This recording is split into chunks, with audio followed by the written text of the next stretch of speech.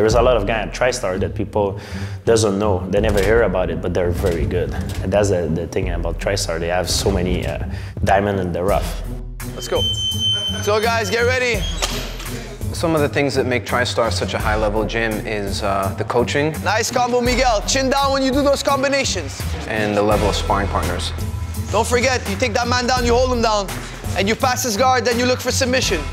Every fighter that train at TriStar, we all have our different routine. We all have our own boxing coach, our own wrestling uh, coach, our own jiu-jitsu instructor. Plus, we have all Firas that united us together. Firas, uh, he's, he's a super intelligent guy, uh, for one, and uh, he researches meticulous little tiny uh, aspects of uh, martial arts. He brings it together in a way that I don't think anyone else is doing right now. It's going to change the sport. And when he hits you with a kick or whatever, you block it and you step in and you put that pressure, you know, you put that pressure on him.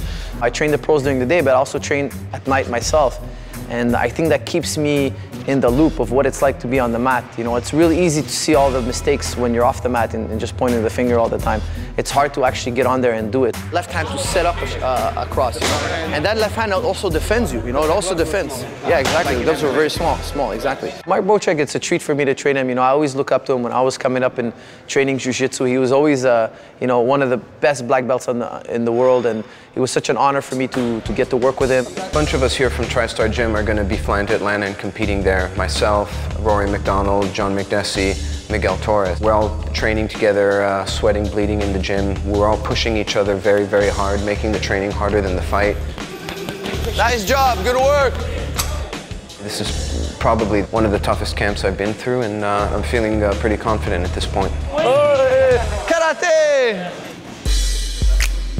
Roy MacDonald is a special fighter. He's willing to step outside of the box and do something that nobody have done before to, to get better at, at- and become a better martial artist. Back to the point. Exactly, exactly.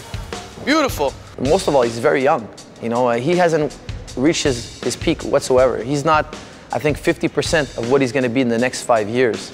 Uh, that's the scary part of it all. Right hand to do damage, left hand to get in. Good distance control. In a few years, he's going to go on a, on a long winning streak that's going to be worthy of the history books.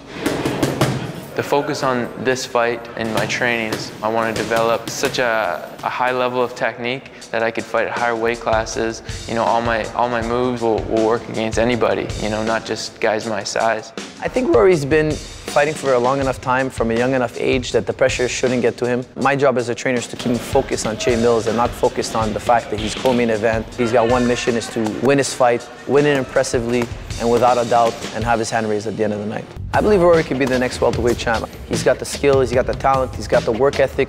Uh, now it's just a matter of time and building his experience and learning the tricks of the trade. Time!